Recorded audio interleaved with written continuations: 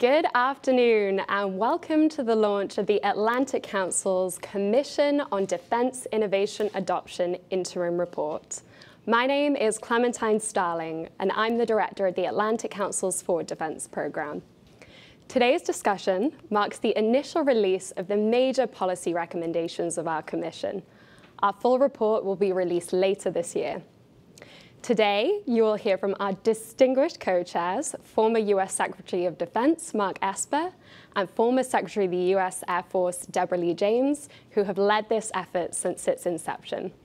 We will also discuss the interim report's recommendations with its authors, Whitney McNamara and Pete Modigliani.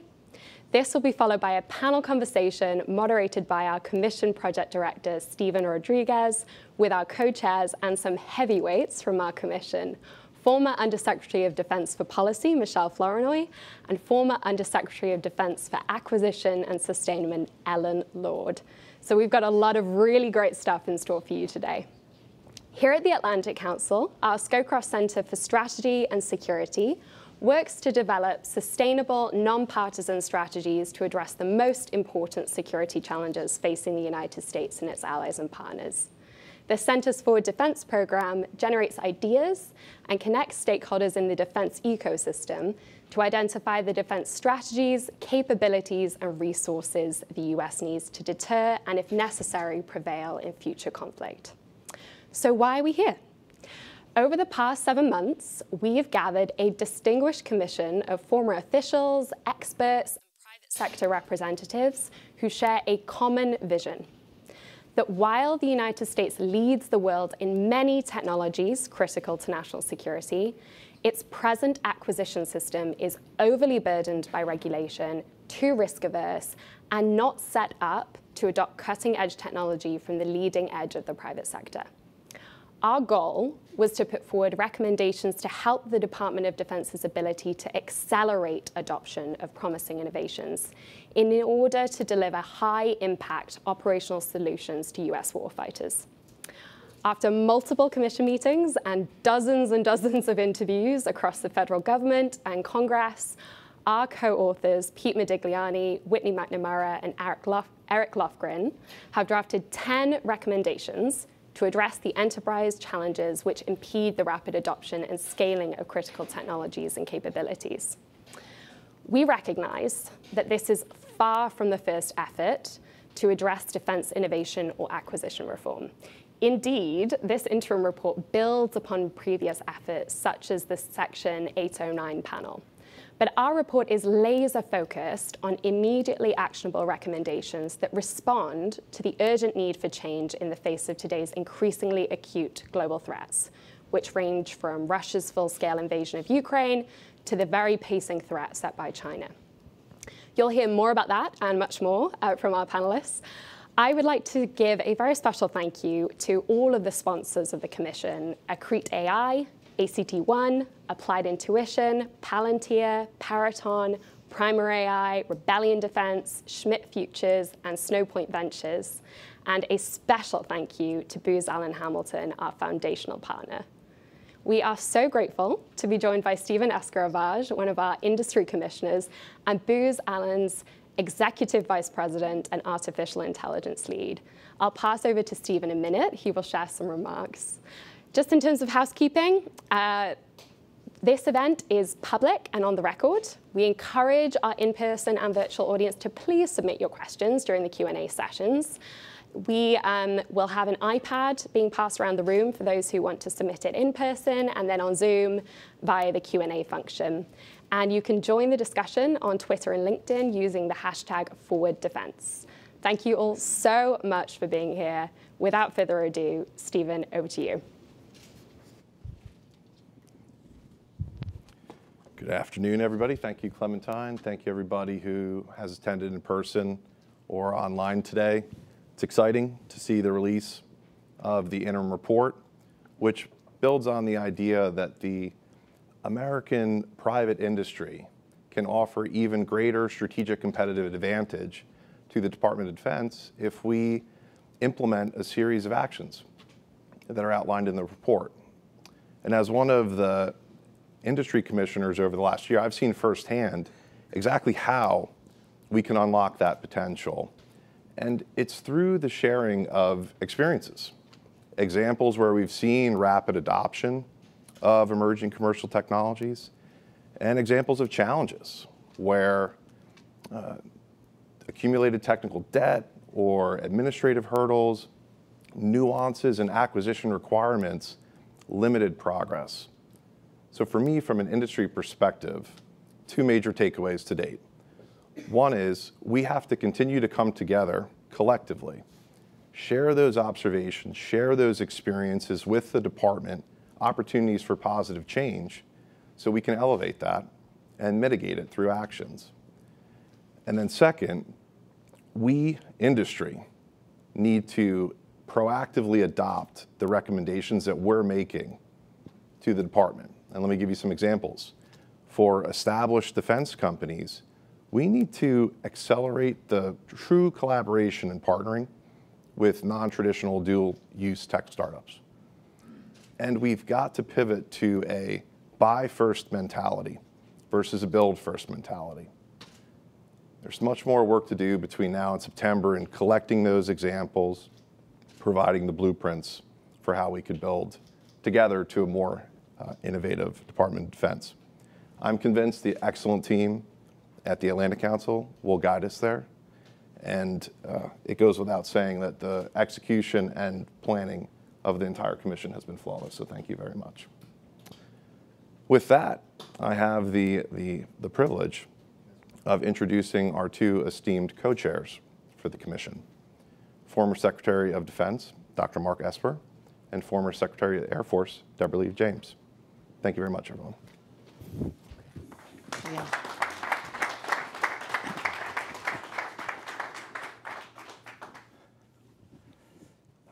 Well, good afternoon, everyone. It's, it's great to see such a filled room. So much interest in what is a, a really important topic. So I thank you all for joining us here today. I first want to thank Fred Kempe and the Atlantic Council team for all they've done to bring us to this moment over the past year. I especially want to thank Stephen Rodriguez, Clem Starling, who's already been introduced, Mark Massa, and our great author experts, uh, Whitney McNamara and Pete uh, Modigliani, for their hard work, diligence, patience, and inclusiveness. Lastly, I want to thank my very capable co-chair, uh, Secretary Deborah James, for her leadership and insights, and for all the other commissioners and experts who contributed to this study over the past year. It has been a great team effort. Last month, Secretary James and I wrote an op-ed on this topic that began with this assertion. The era of great power competition is fully underway and has transitioned to a more dangerous level. Russia's unwarranted invasion of Ukraine and China's increasing tensions with Washington, coupled with Moscow's and Beijing's increasing closeness, evident with almost every week that passes, are proof positive that the world's leading autocracies aim to change the global rules to suit their own malevolent aims.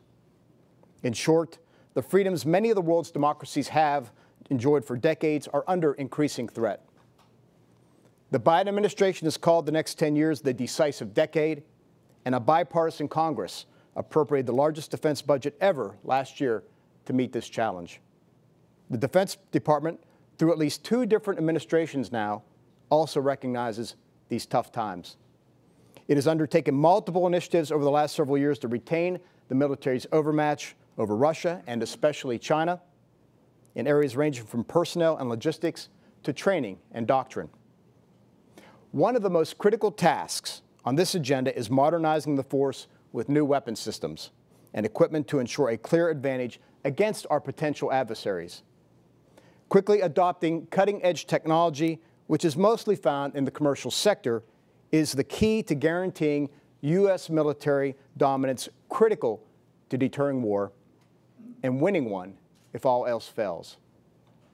The United States is the global leader when it comes to innovation, we are the envy of the world. We do not have an innovation problem in this country.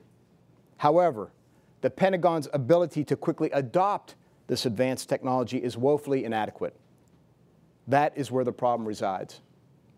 Organizational initiatives over the years, such as the Defense Innovation Unit, the Air Force Rapid Capabilities Office, and Army Futures Command, which I established in 2018, have helped address this problem.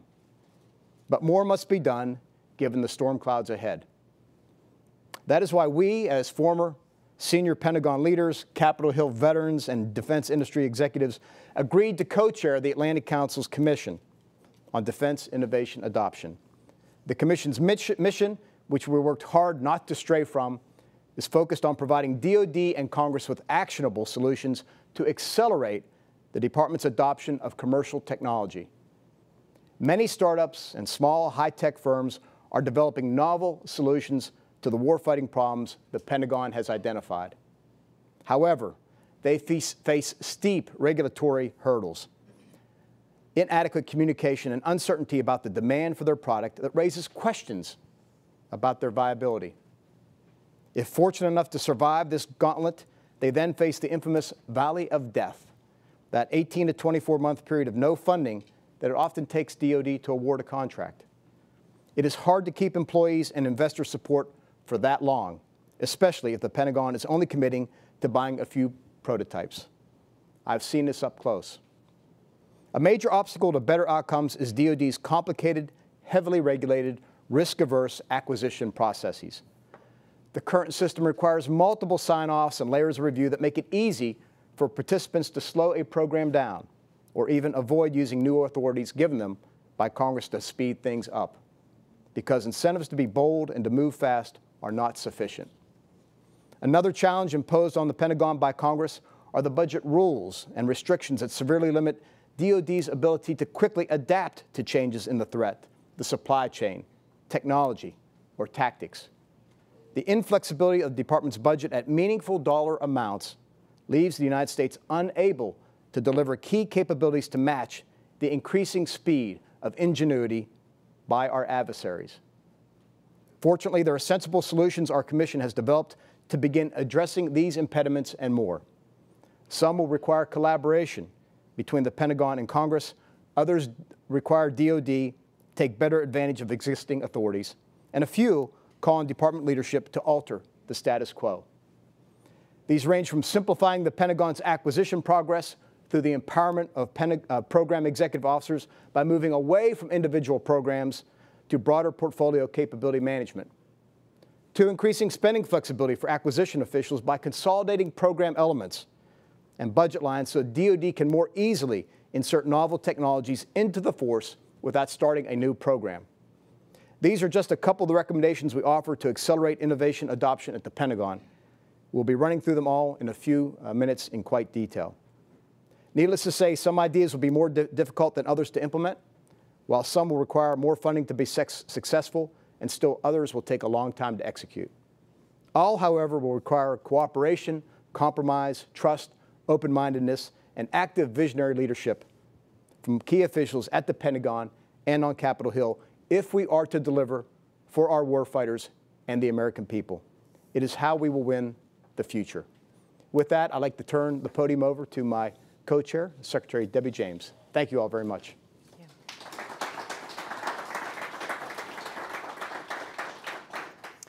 Thank you, Mr. Secretary, and I just want to echo his comments of gratitude to the Atlantic Council staff, to our uh, esteemed authors who put so much time and effort, and very importantly to our commissioners who collectively we represent probably upwards of 100 years of experience in both the government and um, private industry sectors. And that's not even that we're that old, but we, we've got several commissioners, and so we've got a lot of experience between all of us. I'd just like to foot stomp several points that have already been made in an effort to tee up the discussion that we're about to engage in with the specifics. The United States of America does not, does not have an innovation problem. But we do have, within the Department of Defense, an innovation adoption problem. Undersecretary of Research and Engineering, a few years back, Heidi Shyu, uh, came out with 14 critical technologies the summary of which, the combination of which, she said would represent the future of successful warfare, the future of American and Allied warfare. 11 of those 14 critical technologies are not driven by government spending. They are not driven by development within the Department of Defense. Rather, they are driven by and paid for primarily by the private sector. Yet DoD, even knowing this, struggles all too often to identify, to adopt, to integrate, and field these technologies. Now here come the two key points, quickly and at scale. Quickly and at scale. Uh, now, there's a number of reasons for this. You've heard them already. DoD's acquisition and requirements processes, which let's face it, they were built in a different era. They deliver systems to meet requirements that may have been defined over a decade earlier, and yet the whole world has changed in the intervening time. Now, to be sure, there are pockets of innovation, pockets of excellence and speed within the department where things move more quickly. But these are pockets, and what we would like to see is we would like to see this become the norm, not just pockets here and there. So we need to keep pressing. DIU, for example, is one such uh, pocket. And um, one of our recommendations must have been another Washington leak. Secretary Austin just announced it already. Uh, he stole a bit of our fire, but we are very glad to see that DIU will be once again a direct report to the Secretary and the Deputy Secretary because that will provide focus to this sort of innovative, innovative process that we're calling for. Number two, cumbersome reporting requirements and traditions between the Department and Congress do not allow for very much uh, needed flexibility and speed of execution. We absolutely can do better on this if the will is there to do better and this needs to change. Number three, though progress has been made in recent years, DoD is still too difficult to do business with, and this is especially true for the young companies, small commercial firms that do not have experience with the department, but nonetheless have some of this innovative technology that we would very much like to get access to in the department. So we need to keep bringing down the barriers for those companies to be able to enter the DoD space. So shame on us if we didn't try to move rapidly. We did. We did not want to move, miss this congressional cycle, and so we have tried to come out very rapidly with 10 key findings, 10 key uh, recommendations, all of which you heard we believe to be actionable, all of which are doable if people, Congress, DOD, are simply willing to make some changes. And we believe the sum total of these will advance the ball when it comes to DOD's innovation adoption problems. And by the way, based on the current world conditions, the geopolitical concerns that we are facing, we feel that time is of the essence. We've got to get going with this. Indeed, time may be running out. So thank you very much for your participation today. We're glad you're here, and let me turn it back over to you, Clem. Thank you so much.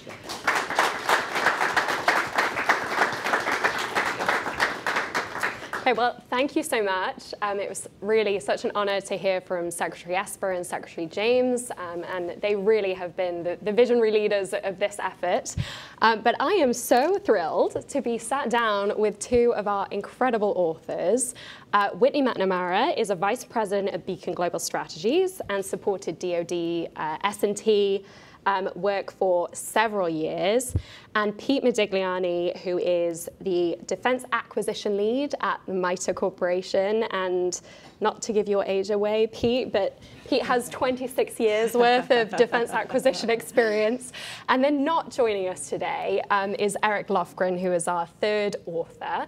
And Eric, after finishing uh, the report with us, went to join um, the Senate Armed Services Committee. Love to say we can take credit for him joining there, but, but no, he, he got there. Um, so we'll be talking about some of the recommendations that, that he um, really, really fed into, but a huge credit to Eric. Um, so let's get stuck in. This discussion is about getting into the nitty gritty of what we actually have in this report, both in terms of the enterprise challenges that, that were uh, discussed a little bit by our co-chairs, and then the 10 recommendations. So I have some questions um, to get at that.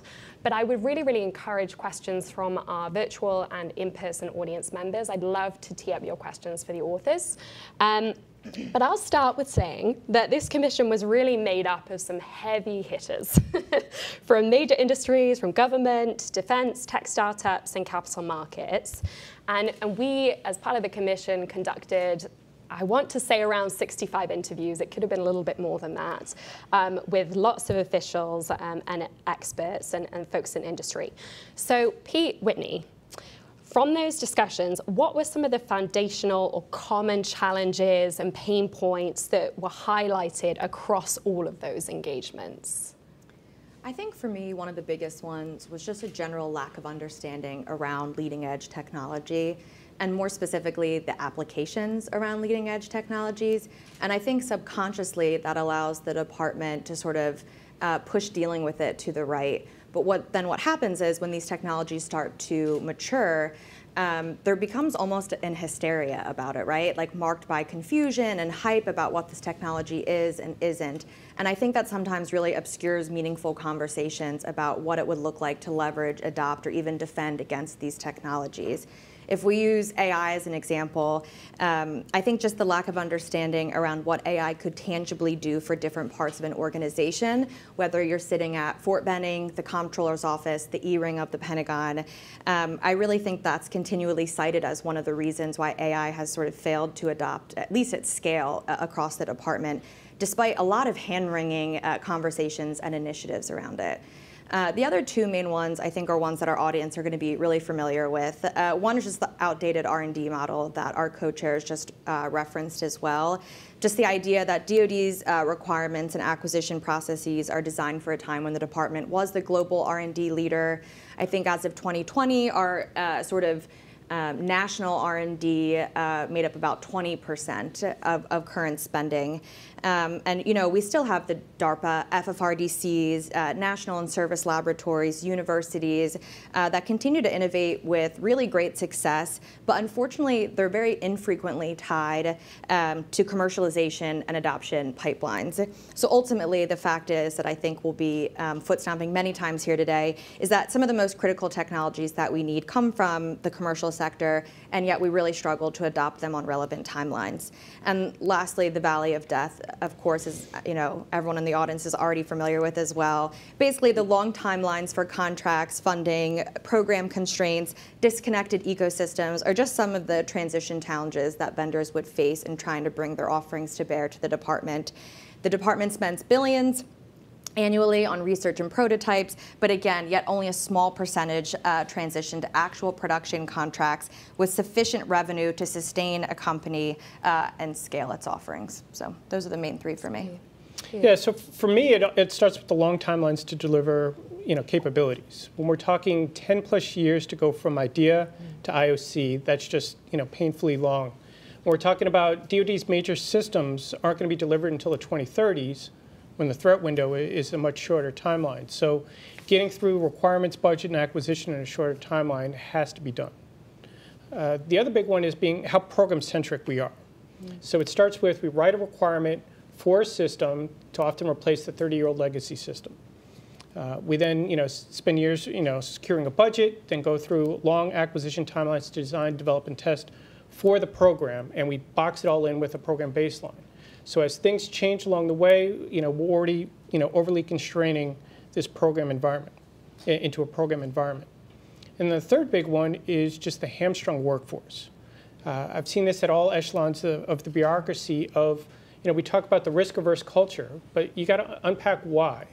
So heavily regulated, you know, focused on compliance with the endless array of policies and statute, heavy amounts of oversight. So when you have those innovators lean forward and say, I'm going to try something new, or I'm going to grab some you know, novel technology and apply it in a new way, the antibodies come out and just attack. So I've seen many innovators leave just you know, out of frustration, and we really need to rethink the culture to say, uh, you know, how can we harness you know, leading technology and get it out to theater quickly? Thank you both. So I think that's a very good recap, I think, of the, the, enterprise challenges that, that we identified. I want to dig into a little bit then. Okay, so none of that sounds good. What do, what do we do about it? Um, and we, we structured this report from an analytical perspective and um, a little bit in the writing of it in, in three parts. Um, so overlapping challenges. One, tech adoption challenges. Two, acquisition hurdles. And then three, budgeting problems. So Pete, one of the headline recommendations, and, and you just touched on it there towards the end, is shifting to a capability, uh, capability portfolio acquisition model in, instead of the, the, current model. Can you describe what that means um, and why it would be such a game changer for the department? Yeah, absolutely. Um, so the capability portfolio management, really at the tactical level, can unlock so many opportunities. And when we talk, you know, portfolio management, it's really at the tactical level. So DoD has roughly 60 program executive officers, PEOs, and they oversee the execution of anywhere from 50 to 200 or so programs, managing through the life cycle. We say, hey, pick five of them, and they're going to operate through a new capability model. So it starts with requirements. So let's stop, you know, just defining 200, you know, JCIDS documents for requirements, and start with a capstone requirements document to say, what's your North Star? What are the operational performance measures you want us to move the needle on? And then we'll focus, on, focus our acquisition systems on that, as well as research, both within the department and focus industry on, hey, these are our needs. From a budget perspective, uh, you know, people hear portfolio management think we're going to group it all into one big portfolio. No. It's, hey, for these five, let's give them a little flexibility. Take 20% of their smallest uh, budget line items and help consolidate. So it's still within the realm of what Congress is appropriating for that broad capability area and then dozens of smaller areas, but gives a little flexibility to do more portfolio investing that you couldn't have predicted three years out. But then the big one is in the acquisition and contracting area. So again, breaking from the program centric to look at the broader portfolio. So how can we shape a portfolio strategy where we're getting multiple vendors regularly competing for these capabilities that they're going to leapfrog each other in delivering solutions, that they're going to you know, integrate into a more open architecture, we're going to leverage common platforms and infrastructure and enterprise services, all to deliver that integrated suite of capabilities. And one of the beauties of it is, as Whitney highlights with the, the valley of death of how much gets wasted, if you have a portfolio, it's going to be easier to capture emerging tech coming from defense or industry into a portfolio than trying to force it into a stovepipe program. The, the two other big ones in the acquisition area is scaling the SDA model. So Space Development Agency just had a successful launch of Tranche Zero. Uh, we're very bullish on where SDA is these days to not only disrupt defense, uh, defense space acquisition, but also space operations. So let's break from the model of we're going to spend billions of dollars, you know, take a decade to build what General Hyten always called big juicy targets. Let's build many smaller things, get many vendors on a rapid iterative scale, and move out on a, a key mission or capability area. So how do we apply that model elsewhere? You know, where can we get a modern day Rickover, empower them to move out on some key areas, someone who knows the tech and operations, and empower them with certain authorities of acquisition, contracting, hiring, test, and certification, and say, go take this hill, go move out. Mm. So whether it could be you know, naval autonomy, Air Force CCA, energetics, you know, pick some you know, priority areas ideally targeted towards the Indo-PACOM theater to move out. And then the third big one is looking at the requirements process. So we've, we've you know, reformed acquisition for decades. We're finally getting after PPB reform. The third big leg in the stool is the requirements process. We can't spend years and years writing requirements documents and going through a very bureaucratic process because that will just set up the acquisitions to fail. So let's take a hard look at all the processes, reviews, the documents, uh, aggressively streamline it. We still have tension between you know, joint staff from a top-down directive says, hey, we got to fight as a joint force. We got to be interoperable to do JADC2. But then we need the bottoms up uh, for the services provided individual capabilities. And have a more iterative approach of here are the operational needs and here's the tech opportunities. So a much more iterative dynamic approach. So those were the three big ones in, in the acquisition domain. Thank you. So in the report, um, we say that the US industrial base has shrunk by 40% in the last decade, 40%. so that's 5% every year for the last five years. Um, what is the problem there? is that a problem? And what are some of the ways in which the Commission um, has sought to address that problem set and incentivize more partners to want to work with the Department of Defense? Yeah, it absolutely is a challenge. Uh, we definitely want to harness the technical talent and expertise from American companies beyond and get them involved in providing defense solutions. So it goes to the incentives and, and barriers. So from an incentive perspective, for all the venture-backed, private equity-backed companies, you know, incentivizing them with a one to five million dollar, you know, research or prototype contract, you know, may help some, but it's that hundred million dollar plus production contract that, that's really going to incentivize them to put money towards this. So at a strategic level, where are we putting our money? You know, historically in the 1990s to 2010s, we were spending roughly 61% on procurement versus RDT&E.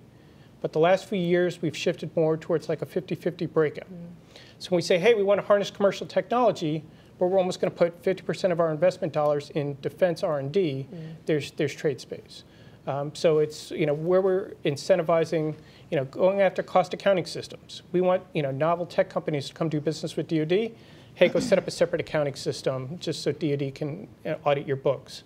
Um, looking at SAM.gov, you know, the main website for you to find government opportunities. It's an archaic government website. You need a training program to understand how to use what should be a search engine. Uh, going through security clearance uh, backlogs for individuals and, and facilities. And then having folks in the department really championing the rapid contracting and acquisition strategies to say, here's how you really adopt them and get broader uh, adoption throughout the ranks to say, no, let, you know, if we want to exploit commercial solutions, here's how to go about doing it. So one, one of the things that was really important to us in this commission was it was not just having folks on the policy side and folks on the industry side, but certainly elevating the voices of, of warfighters themselves, right? Because all, everything we're talking about today has an impact on um, warfighters, and they should have and, and, do have a voice in this process. So to go back, um, Whitney, to uh, acquisition pathways, one of the recommendations seeks to tie experimentation to acquisition outcomes. Can you say a little bit more about that and the genesis of that recommendation? Yeah, so obviously we believe really strongly in the importance of experimentation, whether that's forces generating new concept of operations, uh, using existing capabilities in different ways, or identifying gaps that we need to source new novel capabilities to fill. Um, but what we didn't want to do, and what the Commission was very careful in not doing against our, against our worst impulses, was to stand up something new, a new initiative, a new organization um, that we thought was going to solve all of our problems, uh, which sometimes happens. We stand up something new to address a problem, and sometimes we're just draining resources away from existing initiatives. Um, we were also cognizant at not wanting to support what's sometimes called uh, experimentation or innovation theater, where we really can't draw a line between the exercise and a tangible outcome that justifies the activity. Um, we wanted to make sure that experimentation was strongly tied to successful acquisition outcomes, those that are properly resourced and scaled. Um, so we looked at existing successful initiatives, whether that's the Navy's Scout program, uh, RIMPAC, R&E, uh, RDER Fund, uh, specifically initiatives that are focused on deterring the PRC. Of course, DoD and industry invest significant resources uh, to make sure that you know we're able to demonstrate emerging capabilities and operationally relevant um, you know, uh, environments. Um, but even after a major exercise, uh, when everyone agrees on what the successful capabilities were, there's still that two to four uh, year lag time for DoD to formally define requirements, secure funding, uh, shape acquisition and contract strategies. Uh, for example, even successful capabilities um, identified in R&E's RDER Fund still go through the POM and the DMAG process. So to help ensure that these really well-validated capabilities can rapidly scale in field, we recommended piloting um, a fund of $250 million to scale operationally relevant technologies demonstrated at these exercises meant to significantly, you know, shorten the traditionally long lag times uh, for successful vendors to receive funding while DoD finalizes things like requirements on their end. And then in the in the spirit of picking winners, we also recommended that these funds be allocated to five or fewer very high potential solutions to make sure that successful uh, vendors are properly resourced to actually be able to scale and deliver. It's a bad time to take a sip of water. Um, thank you, Whitney. So two major things that continually came up in, in our conversations was one, how do we scale? And two, how do we better leverage um, capital market funding to solve some of these challenges? Um, a recent op-ed, um, and I should remember the name, but I don't have the name, uh, cited that there was $64 billion of private capital funding in the US alone. That's three times the size of the US economy. So, what were some of the takeaways from those conversations, and, and how did we seek to address that as part of the Commission? Yes, we were very preoccupied with the scaling challenge. Um, two, two of the recommendations that tried to tackle that challenge was one, uh, to generate directive phase three SBIRs, in which early uh, successful performers that already have phase one SBIRs can be fast tracked to those more flexible contracts um, that have no limits of dollar size for procurement and all the other flexibility that comes along with phase three SBIRs. We also wanted to direct the SBIR offices of the Army, Navy, and Marine Corps to pilot the strategic funding increase um, program that's been leveraged so successfully by the Air Force. And that really helps bridge the valley of death between the phase two and the phase three SBIRs. And ultimately what this really does is just put more money on the table for vendors, around 60 million, so they can demonstrate more fulsomely what they can do for the department. Um, a lot of the vendors that have been deemed successfully cross the valley of death have come from this program. Um, and this also comes back to picking winners. Um, you know, candidly, $60 million is a rounding error for the department. If companies are not successfully delivering on that, they're not going to be in the federal space for very long. But the potential gain is really meaningful here. So um, we recommend picking winners, backing them meaningfully, and see what they can deliver. And we think more often than not, the department will be really pleased with the results. You also mentioned capital markets, um, which I think all of the and I just to correct myself, yeah. I said billion, I meant trillion. Yes, sixty-four trillion yeah. dollars. just, just so even more we're not using. Um, yeah, so I think the commission all really agreed that this was sort of an underutilized strategic advantage, not only of the United States, but specifically, you know, how can the department be using this? Um, we wanted to leverage capital markets in a couple ways. One, we wanted to increase the competition and sort of the aperture of tech that's being considered by the department. Um, we also wanted to increase the amount of capital market funds that's being aligned to department missions. Um, and we also thought that this would have the added benefit of helping increase those touch points and exposure um, of next generation tech to the end user. So to increase competition, uh, we recommended to remove the barrier of a company that's more than 50% uh, backed by VC to be able to compete for SBIRs. Uh, we don't want to punish successfully growing companies that are rewarded with more backing to then not be able to uh, use that pathway to deliver to the department. We also wanted to recommend removing the barrier that prevents companies that meet the requirements of a small business, but they're being publicly traded to compete for SBIRs. Um, small high-tech R&D firms have to go public to you know, continue to be able to raise money. Um, for what's typically very capital intensive technologies. And so by disallowing them from competing for SBIRs, I think DoD sort of cutting themselves off from accessing uh, some of the most tech proficient corners of the industrial base. And then the last thing we, we talked about with uh, capital market funding is to drive well-aligned tech adoption, um, is recommending that the Office of Strategic Capital leverage exter uh, external capital market funding for pilot projects. So this would see each service R&D organization identify two novel use cases in one or more of R&E's deep tech areas, uh, which are quantum technology, biotechnology, and advanced materials that could be leveraged to achieve service missions. Um, this recommendation was really born out of a desire not only to leverage you know, capital market funding better, but to address a lot of common challenges we see in tech adoption in general.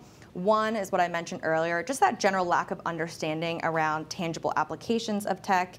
Um, two, the lack of connection between a lot of the great R&D that exists, whether you know, explicitly backed by the government or not, and connecting that, you know, to the commercialization of the technology to relevant products and services.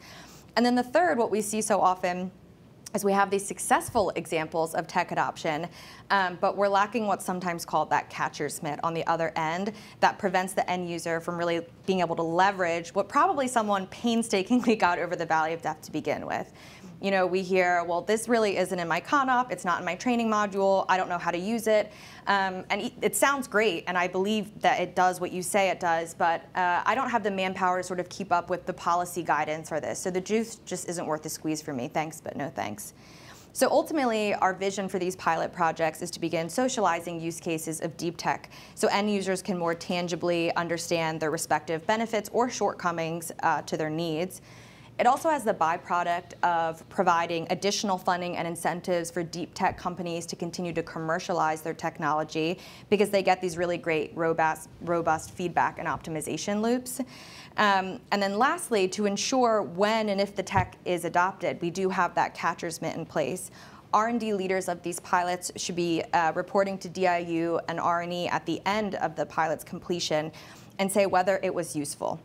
Maybe the answer is no, we need something more resilient. Maybe it was useful, but we need to get the price down. Um, but if the capability that you got was useful and you wanted to adopt it tomorrow, sort of what would be our challenges, right? Does this capability fall through traditional seams of acquisition?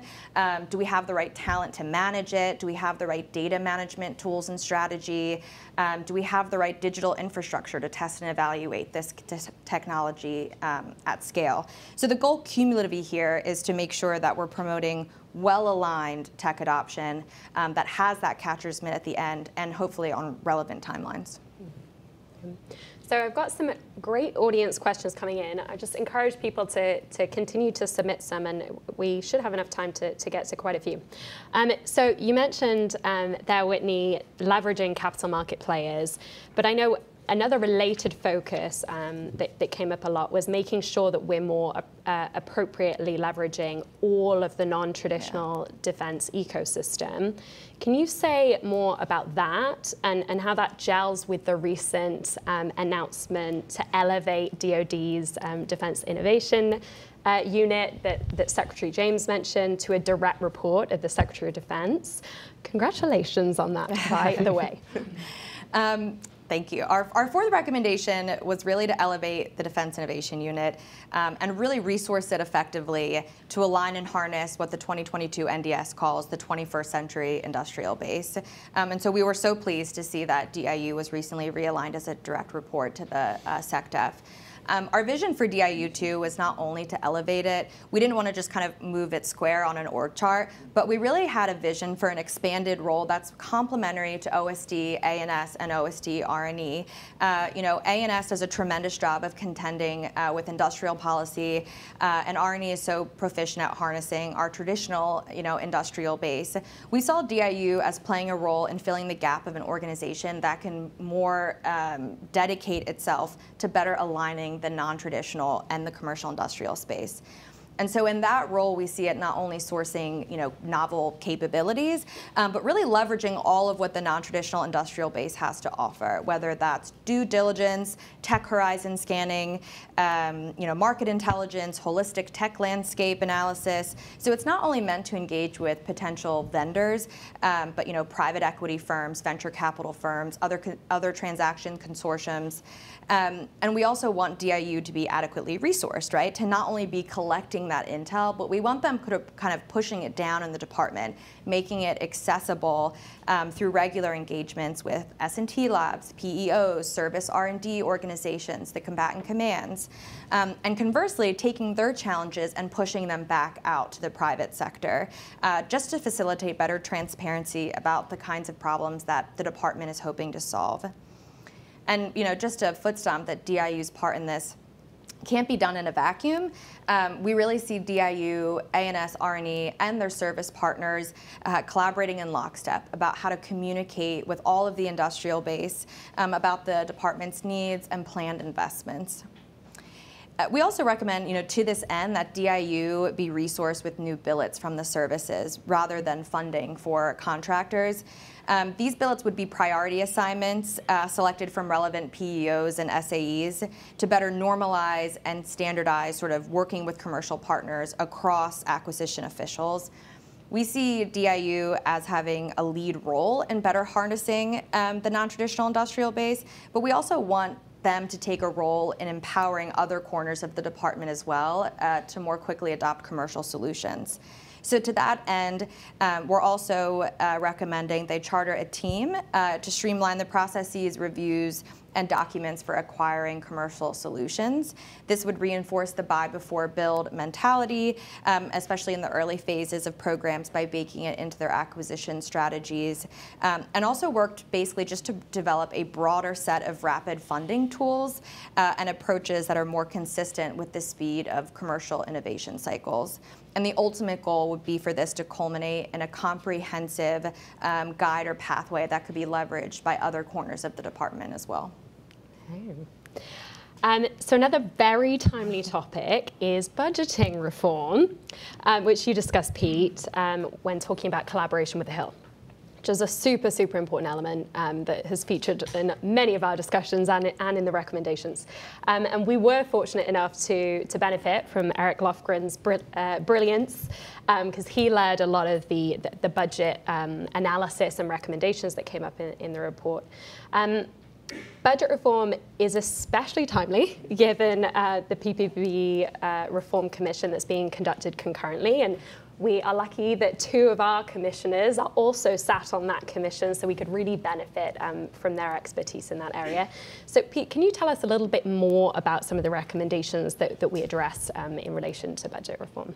Sure, absolutely. And, absolutely kudos to Eric Lofgren for, for leading the charge on all this. Mm-hmm. A lot of the budget reform is really on rebuilding the trust between the department and the Hill on where to invest you know, significant amount of capital for national security. Uh, you, you, talk about the, the you know, long timelines it takes to go through and develop and pass the budget. You know, where are we going to you know, go through the various committees?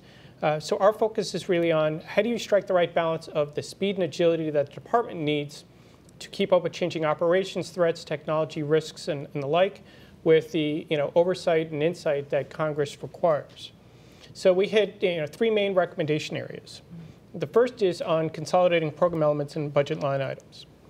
So when you look at the $300 million in RDT&E and procurement that DoD spends, they're broken down into 1,700 different budget accounts. The median size of that is down to $38 million. I think there's something around 700 of them are below $20 million. So we, we fully appreciate congressional oversight. But when we're getting down to the 10 to $15 million accounts for a $300 billion budget, uh, it, it, it's, uh, it's excessive. And we even looked at if you added up around 380 of the smallest RDT&E accounts, that equals the B21 account. So 380 to 1. So uh, part of what we recommend is you know, taking a look, have uh, DoD staff, including the CDAO, the new uh, data and AI organization, work with the appropriation staff and say, let's consolidate 200 a year for the next three years where you're going to merge, you're still going to stay within the broader portfolio area, but let's merge the smaller ones, the ones that are more dynamic, that you're not going to be effectively able to plan two to three years out. Mm -hmm. So that you know the department still has some flexibility to shift within key areas, and there's still going to be constraints, but uh, enables uh, greater flexibility, but then still providing Congress the appropriate insights. Related to that is going after reprogramming authorities. So right now the limit is $10 million or 20%, whichever is lower. So when we're talking about these small accounts already, we're, we're talking about moving seven or eight million dollars at best. So we said, you know, let's revisit that to right now you have to go through a lengthy process of the services, then OSD, then OMB, then the Hill, all have to approve a reprogramming authority, reprogramming above that threshold. Right now, it's, it, it's, been it's been more and more constrained where now you have to have prior approval from all four defense committees before you can move that money. And that could take six to nine months to go through the DoD and congressional process. So we said, let's flip it back to the historical norms that Eric, being the historian, was always great about, to say, you know, 30-day notification. So within that window, Congress can still ask for a briefing for more information or flat out reject it. But at least we're able to move out a little further. Related to that is new starts. So as we identify you know, new emerging technology that we want to move out on, I can't tell a tech company, that's great. Sit right there. In two to three years, we'll get some budget and come back and maybe we'll buy it. Yeah. So there are things where you could do a letter notification to Congress and, and kind of you know, get stuff in there. $10 million RDT&E, $20, billion, $20 million in procurement. Again, it's that prior approval. So let's shift it to that 30-day notification. Oh no, for this one, it's actually for the entire effort. So when we're talking that mm. small dollar amount for the entire effort, it, it's a rounding error. So if we say for that fiscal year, that's at least lets us get started and then you can go through the normal budget process for follow-on years. And Congress could still veto any new starts. And then the third big one is modernizing the budget docs. So when we send the budget over to the Hill each year, it's 30,000 pages. So think of six giant copier paper boxes manually delivered for the budget. So think about the time and energy it takes for the services to develop those pages, then go through OSD, OMB, and over to the Hill, and for congressional staffs to review it. So now we wonder why we have continu- continuing resolutions. Uh, so we said, you know, let's take a modern approach. Let's get, you know, the teams together, work through a more streamlined approach. You know, maybe a six-page budget doc that out- outlines the core elements, but then has links to, you know, the emerging databases and the quarterly reports. So now Congress has more timely information because we know when Congress knows when we send it over, uh, it, there's so many changes that have taken effect but don't reflect in the current budget. So there's hundreds of calls back and forth. Where we have more timely budgets that they could then deep dive into individual programs, this could be much more effective. So it's striking the right balance of the speed and agility with more timely and effective insight uh, is the what we need for PPBE reform. Yeah, super. Um, I'm going to turn to some audience questions now. Um, the first one I have here is from Warren Bayliss. Um, and Warren says, there have been so many defense acquisition reforms on both sides of the Atlantic during the last 20 years, and all have arguably failed. what is the one thing that needs to happen for this current worthy initiative to succeed? So, so you're asked, what's our silver bullet? Just one? I'll just start by saying I think some of the challenge of tackling defense innovation challenges is that it's all so intertwined. Um, you know, you, you have this really great capability, you know, as Pete mentioned, the requirements process uh, is very long. Let's say you get through that and you say, well, I just kind of want to mess around this, this AI software on my computer. And your, your leadership says, I, I don't know if we have authority to do that, and I don't know who to ask if we have authority to do that. And let's say we get authority to, to do that and start experimenting with this AI software. There's a good chance that um, the IT that you're using isn't sufficient or compatible with this new AI software. And so you can take sort of any anecdote of, of where it went wrong, and you really can't point to one problem. Uh, many times it's very layered and interrelated.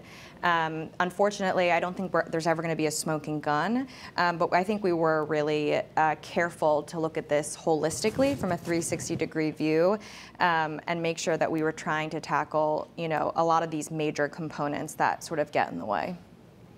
For me, it always start. I always start with the why. So the yeah. national security threat. If you're not paying attention to, you know, deterring China, um, then you know we'll, we'll, get you into some classified briefings and, and, understand the threat. And we've always done that. You know, when it when it's getting partners in, you know, contracting tests. You know, any organization within the community that isn't fully baked into the model, we bring them into threat briefings, read them in, and they get it, and they say, okay, now let's figure out how to go about doing it.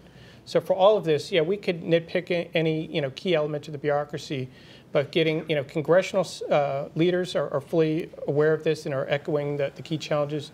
Defense officials are, are um, clearly conveying it. So it's now that you have that clear objective, it's getting uh, partners together to figure out how to go about tackling them. Yeah, and I do think I think our next panel is going to is going to get into that a lot. Um, but I I do think you know, this certainly isn't the only effort talking about, about these challenges. I mean, there are quite a lot of um, different uh, groups work, working on similar issues, maybe saying slightly different things uh, in DC and, and um, in allied nations. I think we're all, we all know what the problem is. We all want to address it. So how do we go about really taking that groundswell of support um, and, and turning that into some action? So hopefully our recommendations will help some yes. folks get there.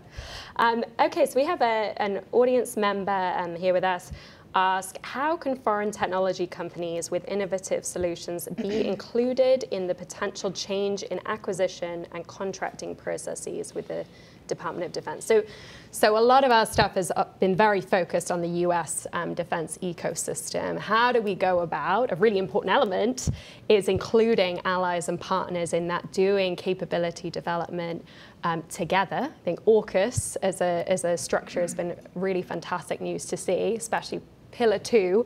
Um, what, are, what are your thoughts on, on that?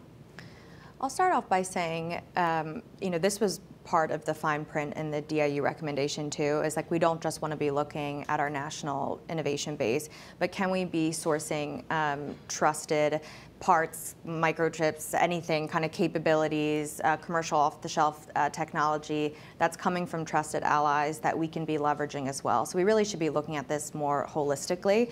Um, and I think a lot of that is in the spirit of not finding ourselves in another situation in five years where we need another unprecedented bill um, to get us out of something we sort of wandered in uh, to not realizing. I'd say this is also a really good example of how the policy struggles to keep up with the technology. Um, I know particularly for things like biotechnology and quantum, uh, again, like very capital intensive technologies, they really want to work with international partners of, of allies. Um, but it's just unclear in terms of ITAR and what kind of technologies you're allowed to work with and sell with. Um, and so I do think that's another major challenge is how can policy keep up with the pace of commercial technology so we can be better harnessing uh, allies' mm. technology. Yeah, we definitely discussed the international cooperation uh, amongst the commission. Maybe it'll be in, in a follow-on report, uh, but definitely with AUKUS, you know, going after ITAR reform, mm-hmm. you know, it, it's clear we need to move together, you know, with our allies and partners. You know, while DoD decades ago was the center of center of the world for R&D, now it's increasingly commercial and international. So there's definitely how do we effectively tap that? But again, it's the ITAR and related processes that are huge impediments that we really need a, a concerted effort to go after and, and break down those barriers. Well, you teed up nicely what I was going to say, which is, you know, we were very focused in this effort to, to just focusing on the US defense industrial ecosystem it is, it is huge in and of itself. Our follow-on work will actually be very much focused on um, international cooperation um, with allies. Um, so Drew Majulis from um, uh, Rheinmetall Defense asks, how do your recommendations help shore up wartime production capacity and surge readiness gaps revealed by the Ukraine conflict, particularly as the industrial base has consolidated dramatically over the past decade?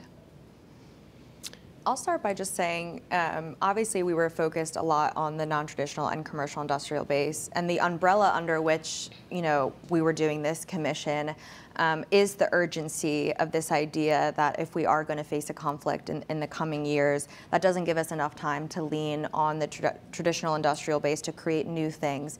And so really our strategic advantage could come from these commercial technologies if we're able to adopt them on relevant timelines. Um, Pete? yeah, uh, yeah, I know the department's really been moving out on, you know, focusing on replenishing munition stocks. Uh, but even with the surge capability, we're still years out. So it, it's an aggressive, uh, we're still far behind where we need to be. So this is getting at the underpinning from some of the budget requirements, flexibility, some of the, just the culture, so we don't get into that habit, uh, you know, we don't fall into a similar trap with other capability areas going forward. Um, there's no silver bullet to address the munition shortage overnight, mm. uh, but getting more players in the game to look at alternate strategies to achieve those desired operational effects, uh, given the unique uh, domain of the Pacific, uh, we definitely need to replenish stocks. So we hit on uh, some of the key areas, but it's not going to be a mag magic bullet to then say we're going to have replenished stocks yeah. overnight. So we have um, a question here from Rob Murray, who I, I know, thanks for being here, Rob, um, worked at NATO for a long time. So he asked, do you believe that the Office of Strategic Capital should formally partner with NATO's new Innovation Fund, which is a, a $1 billion venture capital fund, um, which the US decided not to be a part of? What are your thoughts on that, if any? Yeah, my impression is that they're not part of the Innovation Fund, but they are part of DIANA, which I was mm-hmm. grateful mm -hmm. to see, the more experimental part of it versus the venture fund. I think too, we're still very much in the early stages of figuring out, you know, what sort of VC models, venture capital models are we trying to uh, do ourselves? What's complementary of what's already being done? Are we duplicating what hmm. other folks are doing? Uh, do we need a venture capital fund that you know focuses mostly on defense capabilities? And so I think it's it makes sense that a lot of these major organizations are dipping their toe into it because they, it is a successful model. Um, I think these organizations should think really critically about what's complementary and what's duplicative and letting uh, various organizations sort of double down on what they're specializing in and what they're good in. I think both the Innovation Fund and the Office of Strategic Capital are still so much in the early days. Um, so let's definitely see what happens in the first couple of years, what they're able to do, relative strength and weaknesses. Um, but I, I would assume they'd be closely engaged. I would hope so. She said perfect. Right. Um, so we have a question here. Have you, uh, from David Schiff, sorry, sorry, David. Uh, have you recommended streamlined search tools for industry that would allow them to more quickly find defense requests for proposals, requests for information, BAAs, um, and small business innovation research grants? Yeah, so I mean, with a lot of this, you know, we talk about um, digital transformation. There are huge opportunities across the department and, you know, GSA and OMB from a federal government perspective. Uh, when you look at leading tech companies and you say, hey, you have, you know, key solutions to offer, but then use some of these old websites that, you know, a basic search feature isn't isn't uh, effective. You know, we really need some UI UX. You know, get uh, USDS, Digital Defense Service uh, in there to do some UI UX design to really reshape, you know, both the big solicitations, you know, all the small different funds. It's how do you organize all of that for industry? You know, hey, the, the large traditional primes, you know, have a good, uh, they've invested the resources to track all that down. For the startups, the scale-ups, the non-traditionals, they don't have the time, energy, and resources to go track down 15 different websites and figure out how to use them. So yeah, more is needed to invest to, you know, curate all this to help navigate the innovation ecosystem and, and the opportunity space. Okay. Um, we have an audience member has asked, can you please discuss how the US Department of Defense should deal with the challenge of US firms developing tech with foreign partners? For example, in quantum technology, uh, did we address export controls, constraints, and reform uh, in, our, in our report? I think most companies understand where that red line is. Uh, maybe greener companies uh, might not understand, for example, partnering with a Singaporean university that also China partners with, maybe that. Um, but I don't think um, in this globalized world you can sort of claim ignorance anymore. Uh, and I think that paradigm is very much shifting. Um, and I, I, think that the government's doing a good job in trying to make as clear as possible what those red lines are. Um, there's definitely still a lot of work to be done. I think there's a lot of large companies that sort of can't really trace their, their parts and capabilities past, you know, down three, four suppliers, and that's still a major challenge. Um, but again, I do think that's one of the challenges is like is policy keeping up with tech. I talked to someone uh, and they said, you know, we there's this new kind of bio-manufactured rubber, and it might be really helpful for testing and evaluating hypersonic. Should we ban selling it abroad? This is really granular, like tough stuff, um, and that there's a tremendous amount of gray area. Um, so I think it's something we'll be working on for the foreseeable future. Yeah, absolutely. And, and even with our closest allies, you know, Australia, we see a lot of even leading U.S. tech companies, you know, doing business in Australia. And then there's opportunities where they're developing emerging tech, emerging solutions. But, you know, where's an opportunity space for, you know, DoD and American companies to work with them on evolving this technology, but you can't touch it because then then becomes ITAR tainted. So we really have to go after you know, streamlining that to enable greater opportunity space. You know, and we have our closest allies, our Five Eyes partners, uh, members of NATO, where there's huge opportunities for collaboration. We need to break down those barriers. Yeah. Um, so probably our final audience question um, is by Ali Javahiri. Apologies if I did not pronounce your name properly. Um, Ali asks, how do technology readiness levels influence funding requirements for the 14 critical technology areas? Furthermore, how can private actors in the ecosystem, such as venture capitalists or even the, the prime defense companies, um, looking at acquisitions, utilize TRL frameworks to determine the level of capitalization required to move critical technologies to a mission-ready stage? I don't think there's a lot of hard and fast rules. I think there's a lot of folks that are excited about the promise of lower TRL and something that they can build concurrently. I think some folks are really ready for something that's ready to deploy um, and has been battle tested. Um, so I don't think there's hard and fast. I really think it depends on the end user and the specific capability that's being brought to bear. Um, although the question probably raises a good point that the department should be a bit more transparent about that. Um, and that's what we really tried to get at with our DIU recommendation.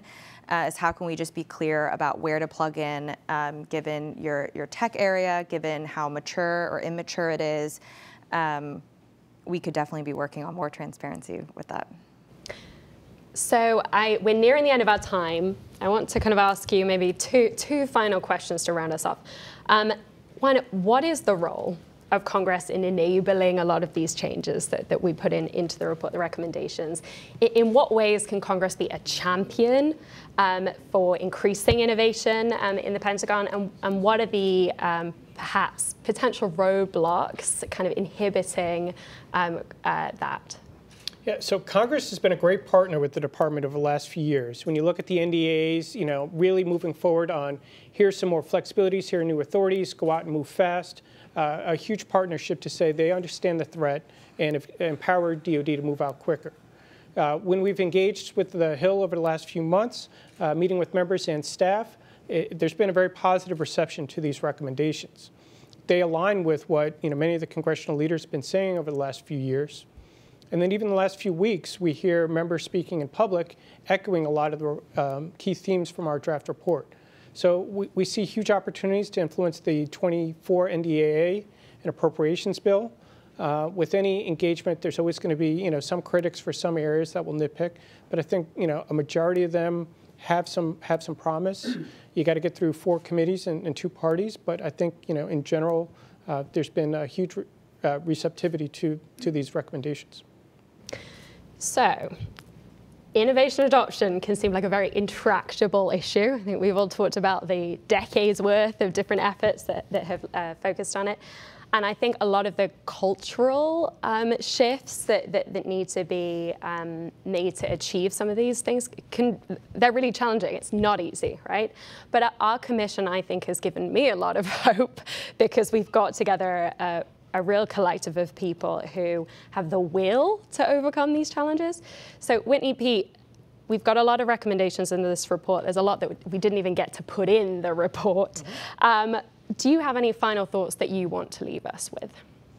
Um, you're right, a lot got put on the cutting room floor, and I think it's going to be something that we're all working on for years to come. It'll keep us gainfully employed. But no, I think that the work is, is never done. Um, I think too, one thing I've really enjoyed about you know this commission is that so often um, in this space, sometimes what it ends up being is a bit of a, a knife fight and, and blaming, um, and the conversation sometimes gets reduced in a way that sort of pits you know traditional um, industrial players versus non-traditional or DoD against certain parts of the industrial base. Um, and I think that really obscures kind of like the more nuanced picture of what's happening on the ground, which is you have hundreds, if not thousands, of really um, motivated and mission-driven folks uh, in all corners of the tech and national security space, uh, working together towards an objective. Um, like you said, these problems are so complex and they're so hard, um, but I think we can do hard things. And I think a lot of these problems elicit a lot of justified frustration. Um, I'm just grateful that people throw their hands up in frustration and then come back to work the next day and continue to tackle these hard problems. Um, and so it's been really refreshing to me. And like Pete said, I, I, think we really look forward to continuing to try to get a lot of these implemented um, and workshop some of the other cutting room floors because there's still a lot of work to be done. Yeah, our, our co-chairs were very adamant about they had to be concise and actionable. So, you know, we really, we didn't want to write just another report to add to the pile. We wanted, you know, action for this. So, you know, the first half of it, you know, is legislation is part of it. So you can have the perfect NDAA or, or PROPS language, the next part is someone in, in, the department. You have to have the leadership to champion it and say, yes, we're going to move out on it, and then the staffs to go execute it. That always gets overlooked. That you know, it's it's the implementation and then the continuous improvement. So uh, we look to partner with with both Congress and the and the and the Pentagon to implement these solutions. Okay, super. Well, thank you both for the tremendous amount of work that went into writing this report. I really encourage everyone here in person to grab a copy. We have copies outside. For those online, we have a virtual uh, virtual copy. Um, next, we are going to transition over to our fantastic second panel, which um, includes our distinguished co-chairs, um, some of our commissioners, and it will be moderated by the formidable Steve Rodriguez, who's our project director. So just bear with us while we transition over um, and, and join us in a moment.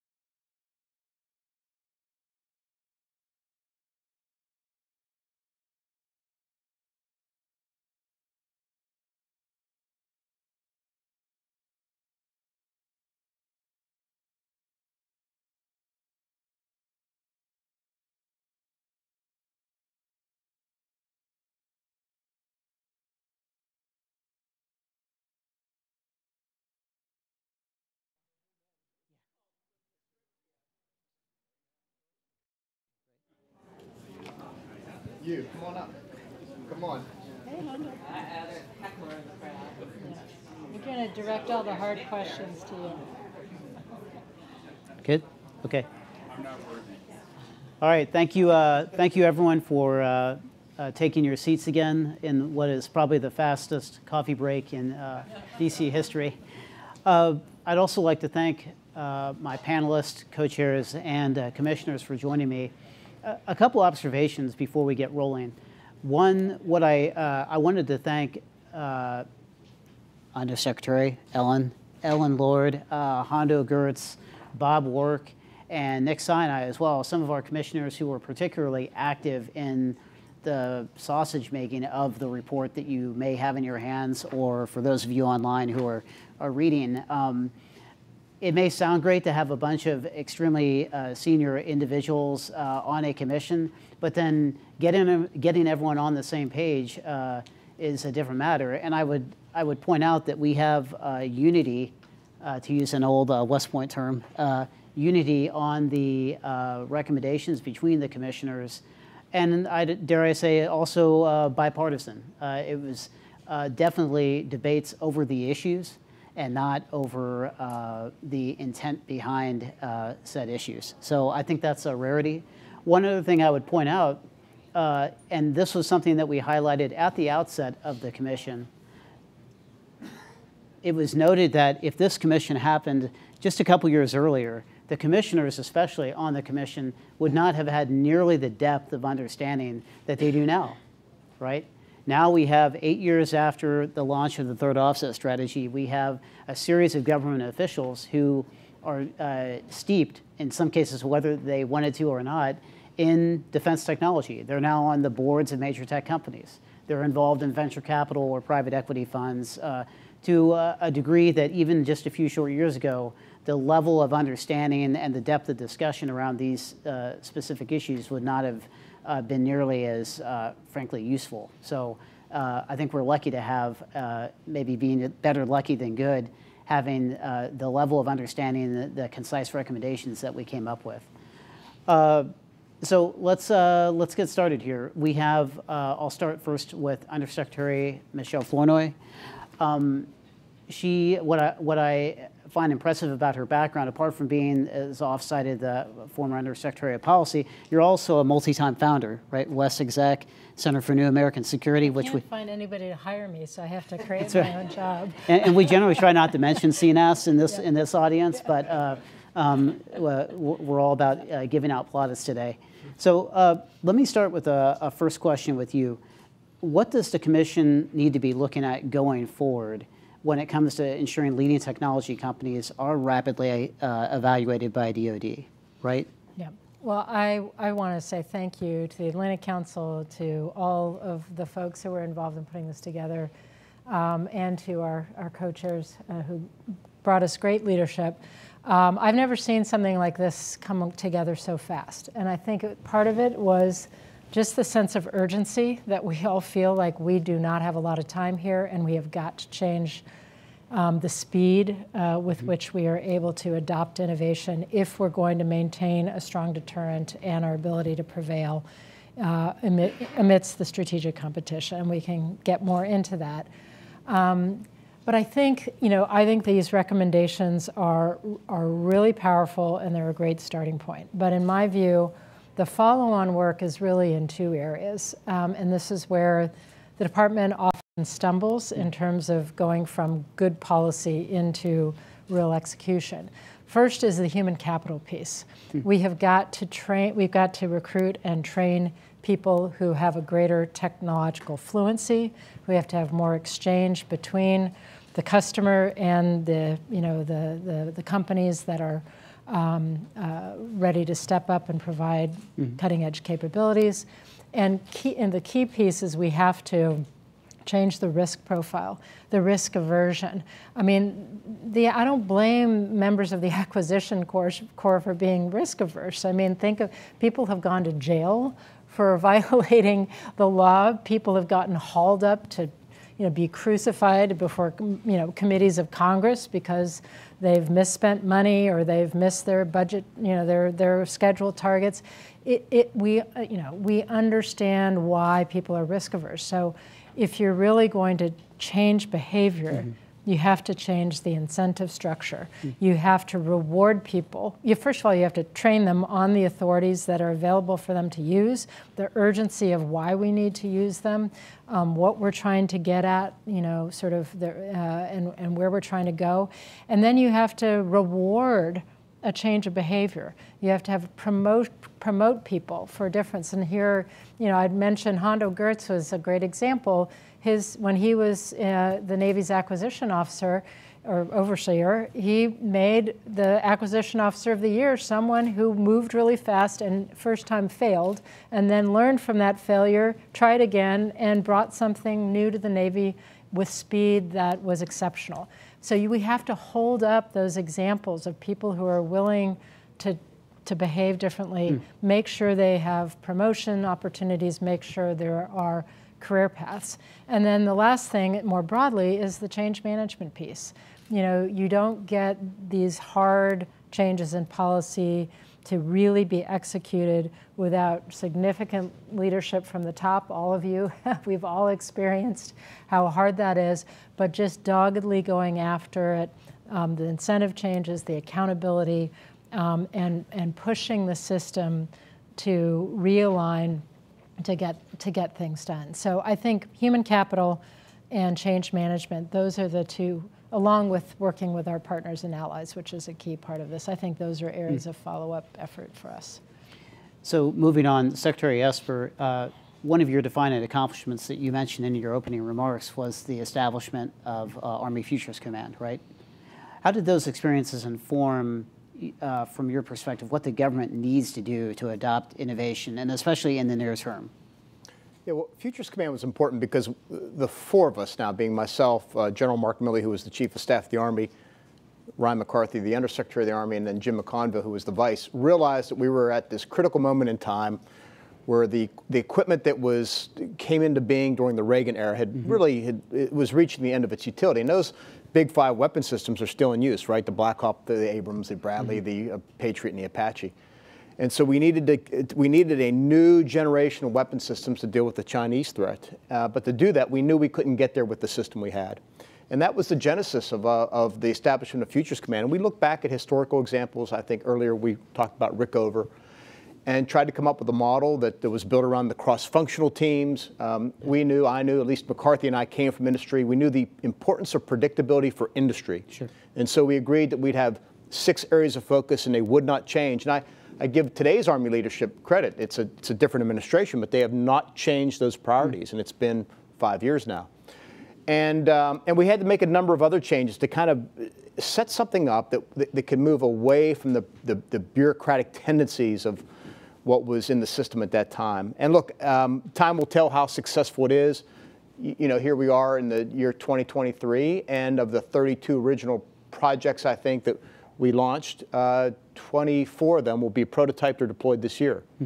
So 66%, that's pretty good batting average for, for the Army, and particularly at a time when its budget's been cut really hard. But look, I, I think the important thing here is this, and Michelle touched on the human capital management, and I, I keep coming back to this and will, and that is the importance of leadership.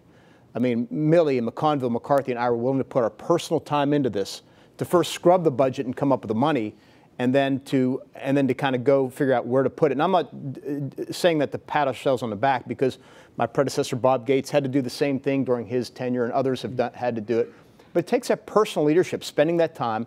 And I think when you're in a large organization like DoD, where there is such um, where the incentives don't exist sure. to, to, to, do bold things or where the where its uh, failure is not acceptable. Hmm. Um, I think the leaders have to bear that responsibility. They have to get personally involved, hmm. get down in the trenches, be willing to carry that load, and because they can. That's why they were uh, uh, appointed and then confirmed in the first place to carry that load and try and teach the bureaucracy a different way of do, doing business. To me, that's the critical component here that we need to see both in the Pentagon and on Capitol Hill, by the way, because otherwise people go up to the Hill, uh, they, they talk about their program being behind, and they become a political punching bag for people, I'm sorry, who are just trying to score political points. It ends up hurting the warfighter and our nation's security.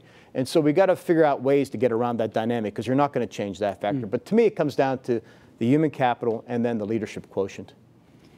Well, that's a great segue to Secretary James. Uh, during a recent interview uh, celebrating the B-21 bombers uh, rollout, uh, you had an incredible quote, which uh, someone asked you, uh, in effect, ma'am, how did you, you know, which you, you initiated that program, how did you get that program rolled out so quickly, in seven years, I believe? and you had a quote that said, we checked the checkers, checking the checkers. Yeah. Right? Which, which that was rather eloquent on my part, don't you think? and, and which narrowly avoided becoming the, the, the theme or the title of our uh, interim report. Yeah.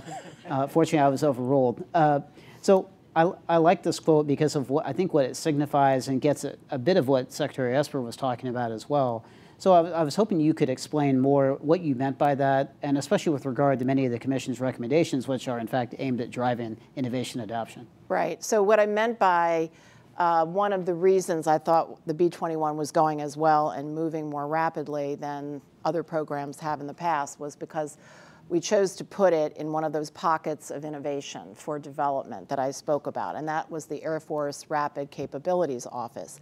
One of the things that the Rapid Capabilities Office does, and by the way, the SDA, the Space Development Agency, is on a similar track, and recall that one of our recommendations is we need to begin to fashion some of our other acquisition authorities and acquisition teams more in the direction of the way these, these uh, pockets of innovation are going there are fewer checkers checking the checkers in these pockets of innovation. And by that I mean the key decision makers serve as, we'll call them the board of directors. They're all at the same reviews. Um, and that speeds things up. That way, if people have questions, if they have issues, you get it all out on the table at roughly the same time. Vice, when I was Secretary of the Air Force, an awful lot of the programs were still, major programs anyway, were still retained at the OSD level. Now, thanks to Secretary Lord and other efforts, a lot of those have gotten pushed down in the intervening mm. years. But if you've got OSD checking on things, and then you've got the services checking on things, before you know it, you've got eight different offices all of which are looking at the same program, and somebody's got a question, and that slows it down two more months, and then somebody else says no about one element, and that shuts the whole thing down for longer. So this is what I mean about many different offices and people, checkers, checking the checkers. By the way, big, big companies, of which I've served as an executive in, in one, we sometimes have too much bureaucracy, too many checkers checking the checkers. Now, that's not the only reason why I think the B-21 is going quite well. The B-21 was also designed to use mature technologies. Mm. By the way, buy instead of build, if there's mature commercial technologies that we think uh, can you know, do the trick for us, that's one of the recommendations, and we hope DIU will become more involved with those decisions as an advocate. So mature technologies, um, that's another factor keep the requirements stable. So if anybody thinks the requirement on the B-21 needs to change in some way, you got to rock it all the way up to the top. You cannot have the authority yourself at a lower level to make such a change. And guess what? The requirements have remained very stable. And then the last one that, that comes to mind is the fact that there's been a push to use open architectures, open mission systems, architectures, so that as things inevitably do change, you can plug in mm. those changes without having to redo the whole darn program. So those are some of the B21 lessons learned. And again, um, having those pockets of innovation like SDA, that is one of the key recommendations that we're calling for, that more acquisition groups do this. We're also calling for, um, I think, other areas that are going to be of great interest to smaller companies, the raising of the CAS thresholds, right. for example. I think that'll be um, enormously important. Opening up the aperture for more companies to be able to participate in SBIRs. Fast tracking companies through the SBIRs process, more money for actual uh, going into to production. Uh, the stepped up responsibilities that we're calling for that DIU take on. We'll, we'll see whether the secretary likes those ideas or not, but we think that would be mm. a great a great step forward. And then lastly, if there's one part of this that does kind of worry me a bit, I will admit, it's the part where we uh, talk about the budget reform and particularly where we're asking Congress to raise the reprogramming right. thresholds and do some portfolio mm-hmm. management, allow that additional flexibility. You know, it's transparency that they need. They want to have the trust, but they also have to be willing to let go of just a little bit of that control a little bit of that power and a little bit of that control. And that's not easy for human beings. So that's the one part that worries me. But I, I hope because of the threat that they will lean forward and try some of these ideas. Can I just foot stomp that? Because I, I think the checking the checkers, check whatever, is great because the ultimate checkers are Congress. That's why we have, as Pete and Whitney said, 1,700 program lines, mm-hmm. reprogramming thresholds or whatever, $20 million. Right. You, you got to extend some trust and you got to be willing to accept some failures, some shortfalls. But, but right now we're tying DoD's hands too tightly. Mm-hmm. We're sending all the wrong messages. And I think if we want to be able to move quickly, then you got to give people the freedom to not just fail, but you got to give them the freedom to succeed. And we don't have that right now. So th this is actually a theme that we discussed a, a, lot in our commission deliberations, which was how to characterize the recommendations that we were putting forward. Uh, many past efforts to include the third offset st strategy to a degree, let's say unintentionally characterized uh, innovators' uh, uh relationships with DoD and especially the defense industrial base as adversarial, and uh, particularly with the acquisition officials as well. So, uh, you me, particularly. Yeah. So, uh, and, and, I think it's a relevant discussion, especially teeing up under Secretary Lord. You were the uh, Pentagon's, as they call it, the chief weapons buyer, which is a, I, I would actually prefer that title as opposed to Undersecretary of Defense for Acquisition and Sustainment. Um, so, you, like uh, many of your numerous subordinates are completely inundated, extraordinarily busy, overtaxed, and often put down by Congress or unintentionally by your, your leadership uh, as part of trying to do your job, especially faster, right? So I guess the question is, uh, given the focus of this commission is on driving defense innovation, right? As simil uh, similar familiar terms have been used before. Uh, how should extremely busy acquisition executives, uh, to Secretary and James and Secretary Esper's points earlier, uh, consider and dare I say adopt these recommendations that we're putting forward, like in the midst of their busy days that they're working through? Understood. Um, first, I just want to echo everyone else and say thank you to the Atlantic Council, your leadership, the entire team, the commissioners' leadership, and all the commissioners. I think this is important what we're doing. Also, I am one of two of those commissioners that's also on the PPBE, the Planning, Programming, Budgeting, and Execution, um, congressionally mandated commission. Peter Levine and I are. So I am speaking on my own behalf here, not um, speaking for the PPBE Commission. All of that being said, what advice do I have um, for acquisition yeah, executives? Right. Embrace the moment. Hmm. Um, there has never been a more opportune time with the threats we see, whether it be near peer competition from China, Russia's invasion of Ukraine, a lot of other nefarious actors. There's obviously a burning platform out there. And now we have the entire community coming together and thinking about the problems of how do we move with speed. And mm. once we get through the planning, programming, and budgeting, it comes down to um, the uh, actually execution, which is acquisition. Right. So I say embrace this moment and communicate um, with leadership at DoD, on the Hill, um, industry associations, all the thought leaders um, in the DC community and beyond, but be very specific.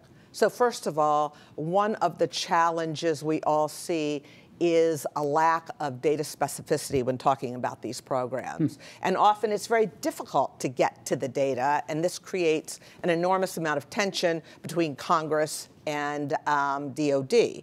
So I would say use this moment to talk about how we have to move from piles of paper to electronic databases hmm. to allow both DOD and the Hill to be able to understand what the fact set is and make sure that those are updated um, on a frequent basis. Mm. This will increase the cadence of communications and really um, the value of those when it's fact based.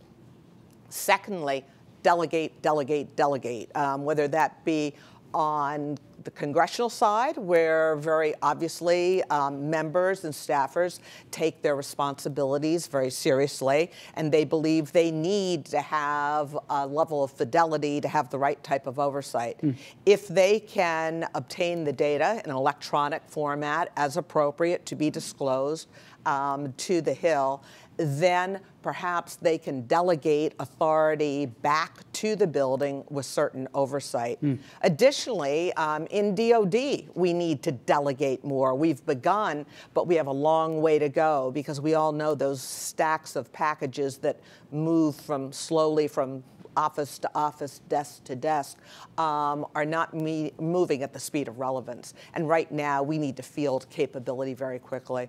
And then finally, the other um, theme that I pulled out of the Commission's report that I think is important to the acquisition community is to start writing contracts you do not build capacity and capability hmm. through r&d projects and we all know that other than maybe nuclear propulsion, nuclear weapons, hypersonic weapons, most of the innovation is being done in the private sector. And so what we right. need to do is start putting out contracts so that we can build that capability um, for both ourselves and our allies and partners. Hmm.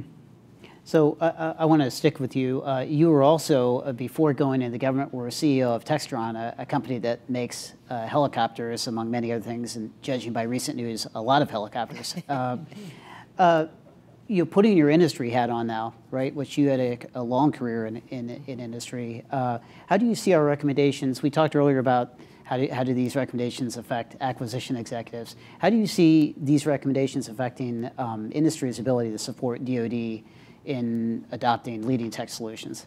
I think it provides um, a foundation for having conversations with actionable items. Mm. So it's not only working with DoD, but talking to members and staffers mm. on the Hill about these, going to the industry associations again, talking in think tanks. It's giving um, industry a lexicon mm. within the realm of the doable. And often we have a hard time translating from policy to implementation guidance and what's mm. really statute, policy, and urban legend is very unclear to industry because they will be told emphatically by someone that this cannot be done, not always absolutely accurate. So I would take this document and use it to go and have some crucial conversations. Great. Uh, before I turn to Undersecretary Flournoy, uh, you both were also in major roles at uh, trade associations, right? Aer Aerospace Industries uh, Association. And in industry too. And in industry. Uh, and then you were at Benz, uh, uh, is that correct? That's right. So do you have any perspectives on this from a trade association perspective? I think there's really something in this report for everybody, for the trade associations, for the large companies, for the small companies uh, everybody will benefit from uh, more rapid innovation of these sorts of technologies, and most of all, the United States government and the warfighter will will benefit. So um, yeah. there's something in here for everybody, I think. If I could just interject, I think part of the power here is everybody being on message and echoing and amplifying the same thing. So mm. all these groups can speak with one voice in their own words. Mm -hmm. Great. So Undersecretary Flournoy, uh, there's uh, currently they you know they're moving around by the moment. There's but there's both a uh, Chinese carrier battle group and a, a, U.S. carrier battle group operating in close proximity around Taiwan as we speak. So, you know, knowing that, how can our commission constructively inform pressing defense policy issues? Obviously, you were previously Undersecretary of Defense for Policy. You probably saw many think tanks put forward brilliant ideas and recommendations on what to do. But this time, I think, is different in that the I think we were discussing in our commission, we no longer have the luxury of endless time windows out into the future that we can uh, discuss and, and debate implementation on. I think the future is now.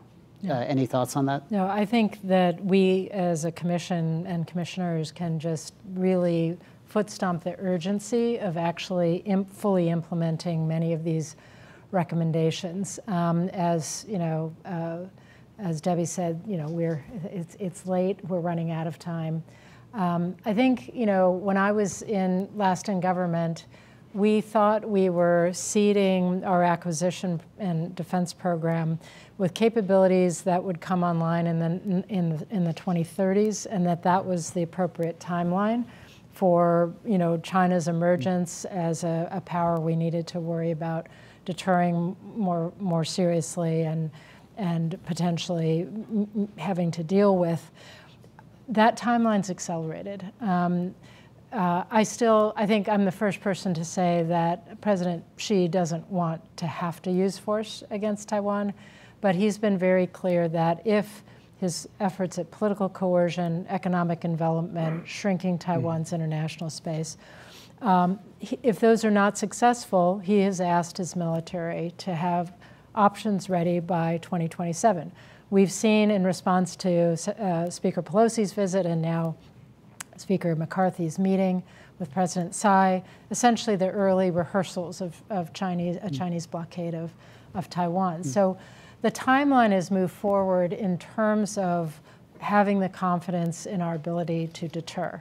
Um, and I think that puts a different urgency, level of urgency on the table. Hmm. You know, what I like to say when people are feeling, you know, risk averse or I'm not sure we can make that change or you don't understand how hard this is or this is really difficult, I, I want to say, you know, if this were, if we knew that some crisis was going to come to a head in 2027 or 2029, some, you know, some period before the 2030s, at that, and we were not prepared. What would we look back on and wish we had done? And I think it's a list of the recommendations in our hmm. report mm. for starters, as well as other things. So the only way that you're going to marry the force that we have, the legacy force and the emerging force, B-21 and new capabilities coming online, with what we need for new operational concepts and effective deterrence, mm -hmm. is to integrate to speed and scale our integration of commercially sourced innovation, marrying those capabilities with legacy mm. platforms that will still be with us to make them that much more effective, to enable new operational outcomes. So to me, that is, that is the task of the Department of Defense for the next five years. Mm. And shame on us if we do not get there. Mm. I want to say there are a lot of good people leaning forward and leaning into this in the department. I don't mean to suggest otherwise, but we need to be moving even faster hmm. and more effectively. So, along those lines, Secretary Esper, it's been mentioned before that you and Secretary James were adamant that we focus on clear and actionable recommendations mm -hmm. to confront the threats posed, especially and increasingly by China and Russia. Um, from your experience, uh, which of these recommendations appear more actionable in the near term, like something we can do, you know, the, the term of art is day one or day zero? And which uh, do you think, just from your own experience uh, across DC, will take longer to enact? And by longer, I mean like later this year, going into next year, because I think uh, the, the increasing sense is that's the time frames we're talking about now. Sure, sure. Let me first go back to the previous Please. question, because it, it's important. We, we get lost in timelines and uh, and what it means. And it's these things seem so far out. Xi Jinping has told the PLA that be prepared to seize Taiwan by 2027. And I know that feels like years away. But think about it this way. It's only two budget cycles away. Two budgets, right? So the current, the 24 budget's on the Hill right now. If we want to deal with that or be ready, you have to either submit something in 25 or 26 because the 27 budget won't come out till the end of 26 anyways. And so if I were to, if I were to tell you this is not a pen, but this is a, this is a weapon that can neutralize a Chinese aircraft carrier, if I apply it in today's system, it wouldn't go into the budget. It wouldn't be proposed to the, to the Congress until one year from now. And then even then, it would take nearly another year to get approved by Congress. That's two years gone. That's the valley of mm-hmm. death. I'm not even talking about how time it takes to build them and then build these at scale. So are we out of time? You ask yourself when you're dealing with timelines like that, we are way behind. Yeah. And we have to get serious about this. So, what are the things, Stephen, that we could do quickly? I think anything that rests in the hands of the Pentagon's leadership, of the Secretary of Defense, or the DepSecDef, are things to do now. Mm. Start doing it now. Start making the changes. Uh, you know, we've already had one success, if you will, with DIU being elevated, but it's it's just not good enough to elevate it. Get involved with it, right? How do you resource uh, the new head of DIU? How do you give him the authorities, the budget he needs, et cetera, so, uh, so, far, uh, so forth and so on to do that? And then how do you start uh, doing all those other things that can really make a difference? Start working with, maybe you can get Congress to approve a set number of, uh, of uh, capability-driven budgets. How maybe you can reduce some of those lines. I think the congressional ones will take longer because I think change on the Hill takes longer. You worked on the Hill, I worked on the Hill. I don't know where everybody else is, but change is hard, and you have a lot of good members who are real leaders trying to do the right thing. But there are a lot of folks trying to hold on to their turf, trying to hold on to control. Mm. And I think it's just going to take a much longer pro- uh, process there. But so I would say the things that DoD can control itself, take charge of, and start moving on now because time is not on our side, and uh, we're not the ones that drive that that agenda per se. Mm. It's the other guys. Mm. So. Uh, Secretary James, along, along, these lines, you, have had uh, a deep career across, uh, unlike uh, Pete Modigliani, I, I, won't say how many years uh, Thank you've you. been service. Uh, deep career. S- uh, smart, I'm smart enough, uh, barely. so you've had a deep career across industry, trade associations, the Hill, and then certainly in senior positions in the U.S. government. Along Secretary Esper's commentary, how how important is it to we talked earlier about having having people on the same message, speaking with the same voice, and engaging the Hill as well. How important is it for these groups to work together? And and, and any thoughts on how we can work together, uh, either within think tanks or without? Like, what's what's a way? What's what are some ideas for implementation of some of these great ideas we have? Well, you heard one of the authors talk earlier about champions so to the extent we can identify the right champions on the outside as well as on the inside, that would be extremely helpful in my view. Now, obviously, we as commissioners and so on, we're going to be champions. Uh, there is a brand new uh, official in DOD, mm. uh, Mr. Beck, I believe is his name. He was just appointed to be the head of DIU. I think he's in his third day on the job, so let's make sure he has this report in his hand on day four. Mm. Mm. Um, meaning he will be a champion within DoD to hopefully try to advance the ball and get some of these things done. And to the extent we have those champions on the Hill, let's make sure that they are armed with the not only the report but the uh, the talking points um, and the, the urgency points that we have made here today. So we've talked about first work on what you can control. I certainly agree with that. Anything that is within the department's purview right now uh, that can be um, changed with a, a, a, memo from the Secretary of Defense, mm. would hope that they would do so as rapidly as possible, always consulting with the Hill, because let us remember that the Hill can um, agree with or disagree with anything that's done administratively as well. But let's try to get started on those, and to the extent we can get some champions uh, out in front for us, I think that will be um, an excellent way to proceed as well. Excellent, and I, I would add that We've already had uh, very strong uh, uh, responses from uh, numerous, again, bipartisan, which uh, is heartening, members on the Hill as well as their staff. So it's, it's a, a good start, but still a lot to be done. one final question before I turn to a few remaining questions as we wrap up. And, and, this is a topic that's come up a lot, and I think a, a, vector on where the commission will be headed going forward is this new organization called Office of Strategic, Strategic Capital, OSC. Um, I'll start with uh, Undersecretary Lord, and I'll, I'll, turn to you, Undersecretary Flournoy, as well. Uh, so you oversaw something called the Trusted Capital Marketplace, right, TCM, which in some ways was uh, ahead of its time uh, in 2019 timeframe, right? How can we at the Commission ensure that OSC succeeds where TCM uh, struggled? And I think on a related note, uh, you're involved in a number of venture capital funds, private equity funds, and, and tech companies now. How can uh, private capital support uh, or existing organizations like AFWERX, right, that's scaled up dramatically, mm-hmm. as well as OSC in turn. Mm-hmm. So I'll, I'll, turn to you first. It comes you. down to leadership and communication, I think. We have a situation where COVID made it clear that we had an issue with offshoring and lack of resiliency in our supply chains, and that began the discussion of broadening DPA Title III mm. and looking at the private sector for funding. Um, but there were other bigger issues for leadership in the building and on the Hill to focus on. Now that we've had the invasion of the Ukraine and everyone's um, painfully aware of our munitions inventory mm. challenges, and the fact we can't go it alone in many, many different areas, I think the time is right. And so communication from the very top, which sure. has been pretty good um, to begin with, I think is a key to that. Um, but then follow up and actually implementing and getting something done. So don't let perfect be the enemy of good enough in terms of rolling out a couple projects. Yeah.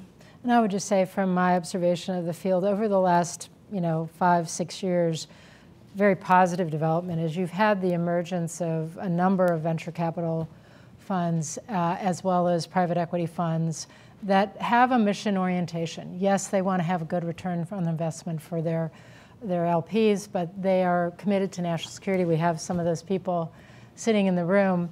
Um, what they want to see from government is, first of all, clarity on what do you hmm. need? Mm. Give us clear signals on what do you need and give us a way to bring our best companies forward to you. Mm.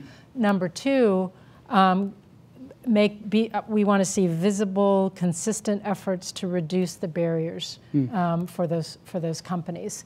Um, whether it's ways of helping them across the valley of death, I hope the Office of Strategic Capital and leveraging various loan guarantee programs right. that SBA and others in the government offer. That's the thing. But they they need to see genuine partnership to reduce some of the barriers to entry and some of the barriers to surviving, you know, the valley of death. Um, and then they need to see successes. They need to th see some mm. things that actually make it into full-scale production and get to the warfighter. If you can point to a handful of those examples, the money is there, the mission focus is there, you will see people flocking, but we have too few success cases hmm. still mm. to point to and say, see, they're serious, this can work. Can I add Please. two things in there? Because I, uh, just for disclosure, disclosure purposes, I'm, I'm, a partner in a venture fund and a board member of that same fund. And I will tell you, uh, I think our strategic capital ideas are important, but we, this is another thing. We don't have a strategic capital problem in this country. It's 65 trillion plus dollars. The biggest thing we need, and Michelle touched on it, Ellen touched on it, is we need a clear signal. If, if you signal the VC community investors that you're going to buy something, that you're going that direction, the money will flow, mm -hmm. which is also why the recommendation to remove these barriers on of 50% for VC makes no sense. The VCs do a really good job vetting yeah. business viability, technological viability, the capabilities of the leaders and founders. Uh, we should be following them in many ways. And so that's why I think, um, I, I, think it's all out there. It's just, it's a matter of us for, for, for going after it. And those are some other simple things that could be done that could really open the market up. But a clear signal, there's, there's no clearer signal than a contract right? and this gets back to the, right. the, the, uh, the Valley of Death. But if there were other signals that could be given short of a contract, well, you'd see a lot of money flowing. You'd see a lot, a lot moving forward. And I know the firm I'm in, that's what we're looking for all the time. Or what are the signals of what the customer needs? We mm. want to do the customer. Michelle's absolutely right. There is a mission focus out there. And this is a moment in time where we got to get those entrepreneurs, those VC firms, PE firms that are out there to really get them on board is to give them those signals to make these changes now before we lose them. Uh, Secretary James, any additional comments on that? Yeah, I would say the other piece of advice I would give to, to VC firms is um, make sure that you understand the process because you know we're trying to streamline the process with these recommendations, but the process is always going to be somewhat daunting. And understand, for example, that when you're talking to a particular warfighter who may seem very, very interested in your technology, remember that individual where does that individual sit in the decision-making process? Remember, there's also acquisition people who need to be consulted. So understand the process and also listen, listen to what mm. their needs are. I think that's important. A campaign, too. right? It's not one person that's going to get you there. Right. Mm. So on a related note, there's a, an interesting question here. Uh, what do you believe is the right approach to choosing between GOTS versus COTS, right? Government off the shelf uh, versus commercial uh, off the shelf uh, technologies. And the, the explanation here is what would you say to those program managers, and this could be directed first towards you, uh, Under Secretary Lord, uh, who are defaulting to GOTS solutions, especially for emergent technologies like cyber and AI, uh, which one could argue does not necessarily reflect a 21st century national security innovation base, et cetera, et cetera. I think um, it is a great idea to use COTS when the COTS components or systems meet all of the warfighting requirements in terms of cybersecurity, hardening for a variety of different environments. There were a lot of missteps years ago with some very small electronic components put on nuclear weapons that met the specification that they were purchased to, which was not sufficient to really talk about it, mm. uh, talk about everything that had to be done. So there were failures of those mm. weapons. I think if you're a smart buyer, you need to go with the commercial solution every time, but it's incumbent upon the government buyer to make sure they mm. understand what needs to be done in terms of functionality and what sure. environments um, with those systems.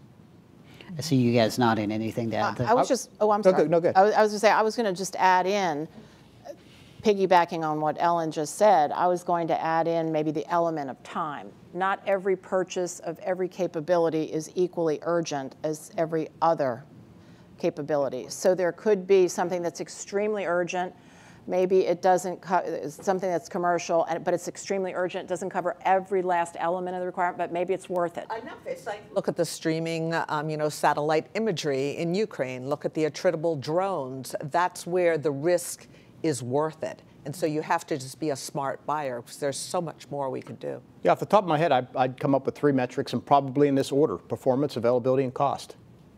So is it the highest quality? So that's an e you can easily determine that. Is it available now or 10 years? Right, mm. and then and then I'll worry about the cost, right? I, mm. I, not that I'm not always worried about the cost, but if you have to rank order those things, that's kind of how I would lay it off, lay it out. But I think we have to be very careful about quality because sometimes we want to buy the superlative yeah. when, when, the good enough, good enough will, do. will, do. and that's where that's the tricky part where yeah. judgment comes. Yeah, in. my only my only concern is, and you and I worked together on this when I was sec SecDef and SecArmy, I, I was trying to move us away from lowest cost, technically acceptable. Oh, technically, uh, yeah, it's a spiral to the bottom. Yeah, because it becomes a spiral to the bottom when you can have something that's a little bit better, maybe cost a little bit more. I think you have to go with what's best for the warfighter. Mm. So, but yeah, I yeah. generally agree. The, it's uh, you know, it, it's an interesting discussion, uh, and I think one of our recommendations tries to get at this, right, which is generate, you know, it's easier to make a decision when you already have a good baseline that's accurate and current uh, of data to make that decision from. So from your experience, and I'll, maybe I'll start with you, uh, did you often feel like your workforce had the latest and up-to-date uh, data on like what was the best or no. most appropriate? No. Oh, okay. And this is where we have an issue I think, in terms of having electronic access to what's out there and being able to push information around. There are these little pockets of excellence we keep talking about the Rapid Capabilities Offices, DIU, SCO. There are many of them but they haven't scaled because it's a small, high performance team that gets to go VFR direct to senior leadership to make decisions. Mm. Um, that's not scalable. So right. we have to have right. um, electronically available information, and there has to be a way for industry to access what the requirements and the needs are from the department and be able to go back and iterate on that um, without lots of meetings with lots of people, with lots of discussion and plus ones and plus twos and so forth. Great. Any, anything else, Ted? No, I would just say there is a congressional component to this as well in terms of um, oftentimes, you know, the authorization committees has historically leaned farther forward in terms of giving the department lots of authorities, lots of support for prototyping, experimentation, et cetera. But when you get to the appropriators who feel very responsible for making sure every dollar is well, well spent, they'll often you get into these chicken and egg conversations where you know the Navy will say I'd like to buy a couple of hmm. you know unmanned surface vehicles or unmanned uh, undersea vehicles, and the appropriators will say, well, what's your concept? And they'll say, well, I need a couple of them to experiment and develop a concept well, you don't have a concept, so why should we give you, mm-hmm. you know, more than one? And you know, you get into these do loops of people being very risk mm. averse, mm. understandably. But I think part of it is it's not only, you know, access to best data. We have to loosen the the um, give a have a little bit more flexibility, take a little bit more risk to allow the services to experiment and compete different concepts and develop that data. That gets back to delegation of requirements. Yes. So I know that Right. one of the recommendations we've been talking about for a while is to change the JROC process. Right. So a lot Yeah. of that gets delegated. So I think that it's, there's a congressional piece to getting comfortable with this, that, you know, you have to allow for, take some risk to allow mm-hmm. for experimentation, concept development, to being able to develop the performance data so that you can make a smarter, a better informed production decision down the line. But it, it, everybody has to be a little bit more comfortable taking some risk, given the timeline and the urgency that we hmm. have to operate under and how important this innovation is to us strategically being able to deter China as a peer competitor. Well, and the four of you made a really good point earlier, which is uh, how much of this is dependent or codependent on interpersonal relationships. Uh, Trust is something that's, Trust of is course, earned, not given. Uh, and having started my career right before 9/11, and then, you know, walked through the uh, the the bad the battle days of the uh, height of the Iraq War, and then seeing the reemergence and the pivot to Asia, and then now the situation we're in with China and Russia. Oftentimes, when things hit extremists, I've, eh, from a layman's view, I've been surprised at how much. Uh, of government officials lean on the people that they quite understandably trust and believe and are, and are committed to. Uh, to that end, uh, I was going to make a joke about if you don't know what the JROC process is, you. well, it's least really in- the JCIDS process. JCIDS The- and- the- So Yeah. it's how the joint staff comes up with the if- requirements. if the you don't know, you're JROC is the body. Yeah, yes. Yeah. Anyhow. But I was going to say you probably shouldn't be here in this audience. Uh, but uh, the uh, an audience is a closing question as we wrap up, and I think it's a relevant question.